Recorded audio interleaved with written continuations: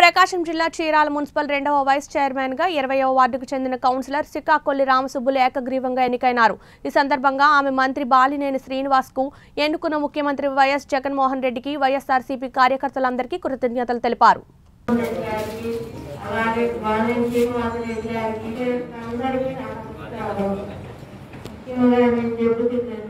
మీరందరూ నాకు